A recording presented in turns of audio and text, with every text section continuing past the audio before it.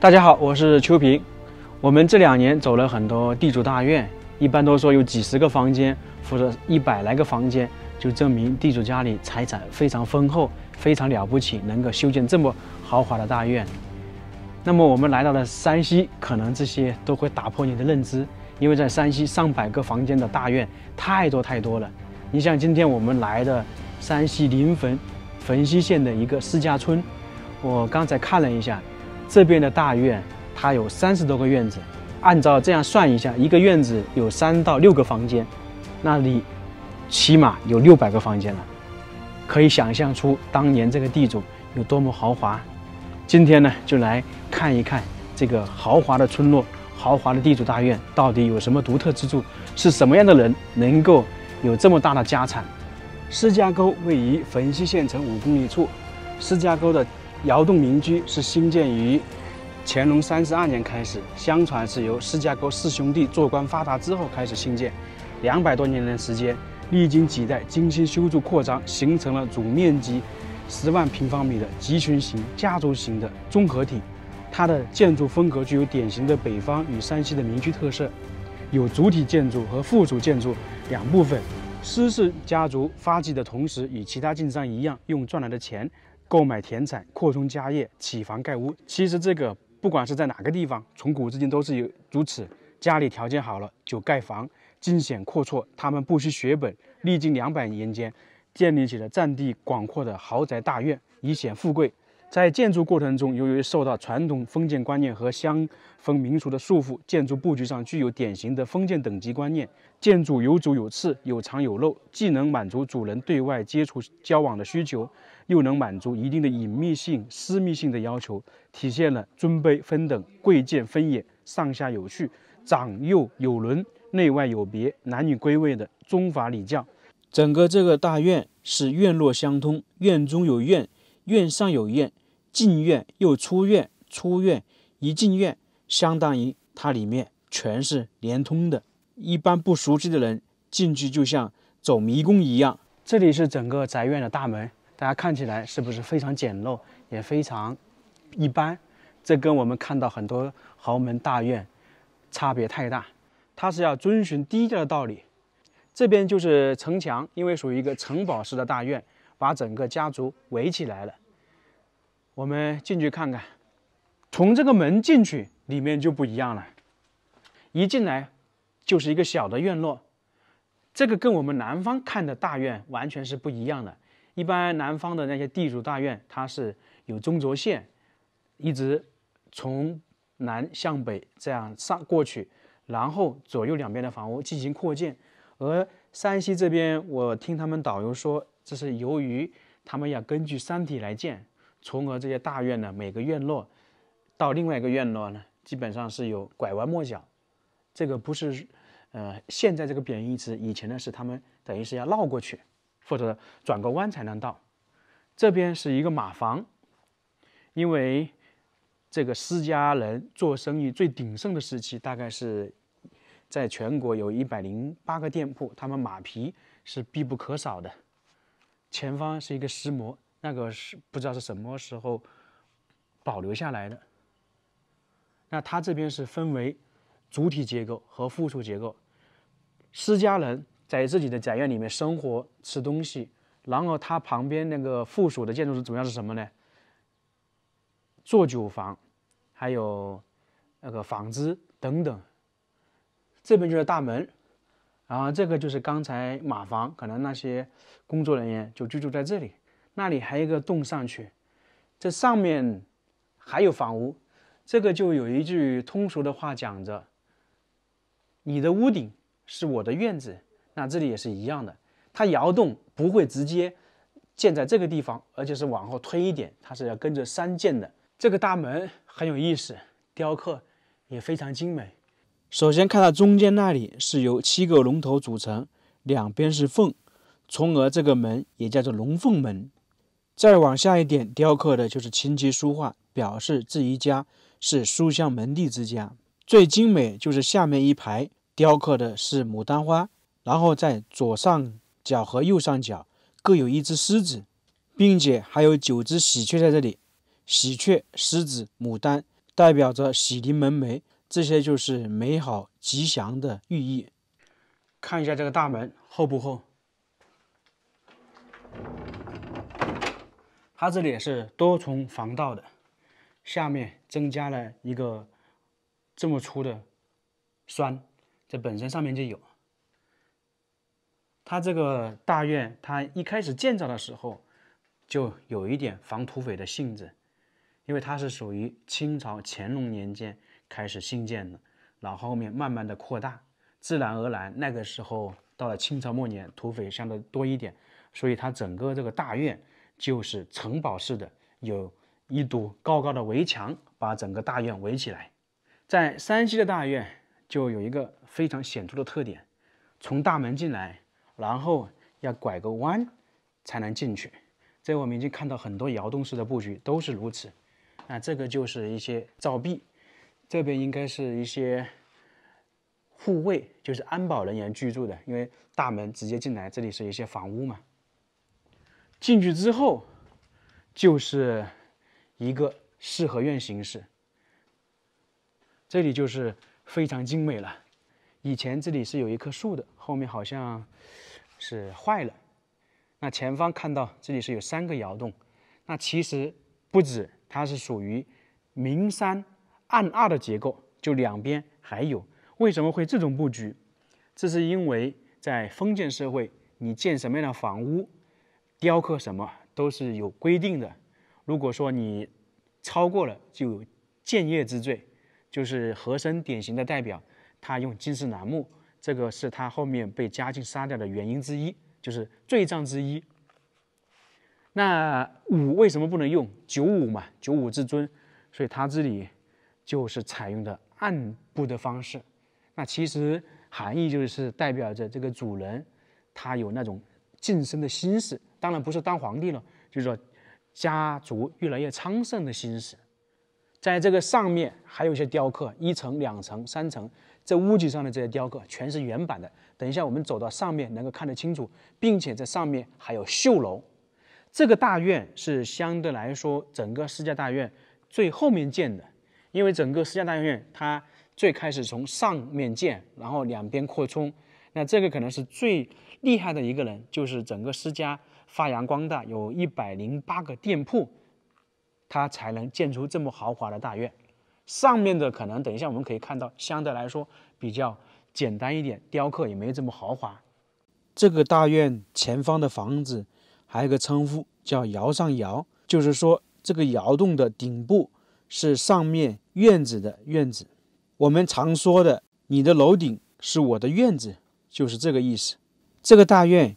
还结合了南方一些建筑特色，就是马头墙。因为这个家族南方做官，北方做生意，从而他们的建筑就是南北相结合的特点。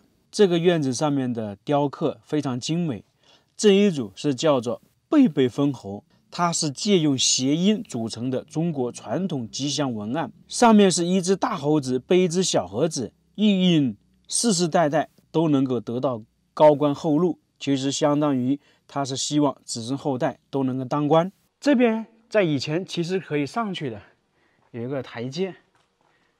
这里可能是放了一个木头的，然后上面才是修的那种砖结构的。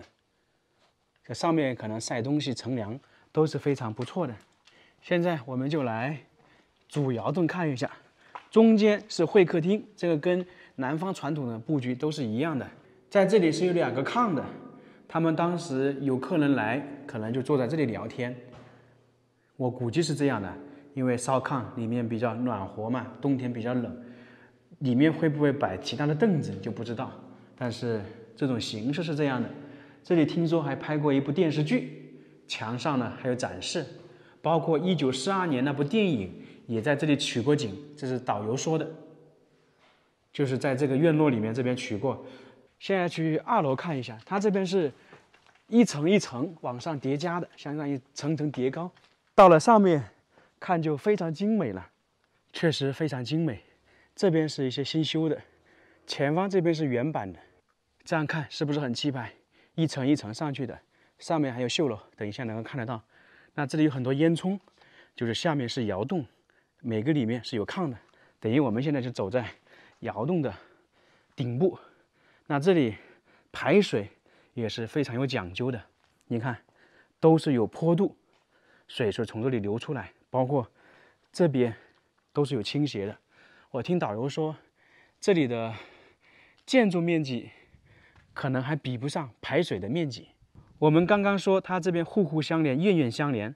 你看，这个是一个院子，这是房间，出来这样走，一直上去，一个院落结束了，到了上面又是另外一个院落，基本上就是户户相通了。上去就等于是第二重院落，在下面有一个很独特的东西啊，我们平时说。上坡，他们铺的砖是这样一块一块铺的整整齐齐，在这里没有，有点层次感，这是为什么？走上去不容易摔倒，就站得比较稳，有摩擦嘛。啊，过去又是转弯，那这个地方呢，是干嘛用的呢？这里是一个私塾院，从古至今。只要是家庭条件好的人，特别重视教育，我们也说了很多次。那这里就是小孩读书学习的地方。那边是属于上课的地方，老师就是在这里居住。有一个称呼叫做西席。这里是不是空旷的？在以前，白天是打开的。如果晚上这里也是有一扇门，这样关闭之后，很多人以为这个是两个房间，这里是独立的，所以也是算是起到一个防盗的作用、隐蔽的作用。在这个院落中间有一个非常奇特的东西，大家看到没有？这里有一块石头，这里的含义是步步高升，是因为这个石头，按照导游或者当地的说法，它是会自动。冒出来自动生长一样，经常会把旁边的石头挤开，然后它慢慢的生长，这个是非常奇特。在这个正前方有一个比较独特的东西，不知道大家知不知道哈？可以看到在这门这里有一个小孔，我还真一开始不知道是什么，导游讲解才知道这个是一个猫洞。我们经常的狗洞，它这里是猫。我们看了很多建筑，在那个大门有一个洞，那一般是狗的；而在这个卧室这边，刚刚看到这个洞就是猫走的，因为狗一般是不进卧室的。这个很奇特吧？上面就是传说中的小姐秀了，来看看北方小姐居住的地方是啥样的。我们看到南方很多，北方又有点不一样了。它整个这些屋脊上面雕刻都是这种，全是原版的，很精美。推开这里，就是小姐的绣楼。这个大门，如果是在那个时期，一直都是关闭的。那这一块就是绣楼了。这个大家看起来是不是感觉有点不一样？首先，它这里是一堵很高的墙。同时，也是下面那个私塾窑洞上面的屋脊屋檐。但是它这里为什么会修这么高呢？因为小姐在古代，特别是明清的时候，大门不出，二门不迈，是不让她见外人的。你站在这里的话，外面可能看得到它，或者它能够跟外面打招呼，所以说就弄那个挡住了。主要是为了防止外面看出他的，因为他在上面还是能看外面的。绣楼是古代为出嫁的女子居住和生活的地方，是一个针线、纺织、刺绣、缝纫的做工场所，也是属于一个女人学技、创意的休闲生活场所。有绣楼的人家，其实也是这个家族兴盛的一种标志。一般穷苦人家肯定是没有绣楼的。现代人一提到绣楼，就想到过去小姐们锦衣玉食、诗书情画的优雅生活。其实不然，在封建大家族里面，小姐从十三岁起便送到绣楼学做女工，直到出嫁才能离开。所以有这样一句说法：“庭院深深深几许，泪眼问花花不语。这座绣楼是建于咸丰年间。为什么说千金小姐也要学习文化，要琴棋书画，而且还要有用那个技术？这是因为她古代的女子嫁人的话讲究门当户对。你像对方家族，他那个男子也是文化深厚的人，那你如果不懂这些，没有共同语言也是不行的。你像这些就是织布的、纺织。他们古代那些千金小姐也是要学这个的。他们尽管说是住在这个绣楼里面，但是也没有清闲，要学习的很多，琴棋书画、学技术，呃，学刺绣、学纺织、缝纫这些都要，并不是说你家庭条件好就能够很安稳的生活。就跟看过一部电视剧，他讲了皇帝的儿子表面看起来很光鲜，但是在盛世。君王的下面那些儿子其实非常辛苦，特别是开国的。你想朱元璋的儿子要学习，还有康熙的儿子，都是要学习的时间很长。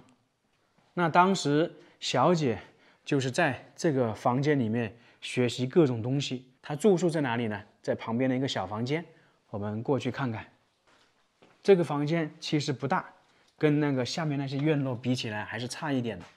那这个地方就是绣楼。里面最重要的小姐居住的地方是一个卧室，这里是以前有人来写生，所以就住在这里，或者展示了一下。这个就是炕，这跟南北方不一样吧？它直接是靠着墙。如果是南方的话，那个床呢是非常漂亮。这是炕，一二三，这里有三个窗户，这个是为什么？这是因为小姐从十三岁送到这个绣楼，基本上是不出去。她要看外面怎么办？就打开这个窗户啊，可以看到四周的情况。这就是这三个窗户的体现作用在这里。这些千金大小姐，尽管说是生长这些豪门大院里面，看起来是非常光鲜，生活条件很好，但是其实她们的生活也不像我们表面想的那么简单。特别是女子从小就要送到这个绣楼里面来，基本上是不出去的，直到出嫁为止。那么大家想一想，这个是不是非常孤独？就跟在某个地方喝茶一样，只不过呢是有人在她身边伺候。那到了关键时候，她又得要牺牲。我们看过很多电视剧，特别是那些公主、皇帝的女儿啊，到了关键时期就要去联姻，去和亲。清朝的比较明显，那些公主呢要嫁给蒙古那些王爷，用来笼络。那在之前汉代那个时候，很多公主才和亲，那出去了，基本上这辈子就很难回来了。那他们这些家族呢也是一样的，因为你在这个家里从小到大，锦衣玉食，你享受到了这些，那就一定要付出什么，这从古都是这个道理。所以并不是说，呃，千金大小姐。他就衣食无忧，一辈子无忧无虑。碰到一位大爷，您贵姓啊？要不要的要。啊，这个院落是您的是吧？嗯。这位大爷也在这里住了一辈子，也算是一个独立小院，挺别致的。哦，这下面也是你的。上面是，下面不是，下面。哦，在这里住了多少年了？一辈子。哎，那几十年了。来到陕西，看到这很多这种。地主大院都是砖结构，特别是在黄土地上面都是窑洞式的布局。我简单的问了一下他们，为什么全部是用砖头，而南方是用木头呢？这是一个当地的特色。这边呢，应该来讲的话，黄泥土很多嘛，他们的砖都是泥中烧的，就相当于就地取材。南方就地取材就是木头。然后窑洞呢，冬暖夏凉，所以他们才会用这种方式建造房屋、建造大院。前方这栋房屋就是当时整个施家的一个放置财产的地方，相当于是金库。你想一想，有单独的一个院子收纳钱财，不得了啊！而两边这个稍微破败一点的，就是当时守卫居住的地方，真的是一个实力非常雄厚的家族。这个家族最后是怎么衰落的？是由于在鼎盛时期，那个地主三十多岁就英年早逝，他没有选好接班人，那导致这个家族由盛而衰，慢慢的只剩下一些房屋在这里。整个施家大院我们也只能走一部分，因为太大了，根本逛不完。他以前有这样的称呼：走进一家院，便串全村门，和关好八大门，锁好十小门，行人难出村。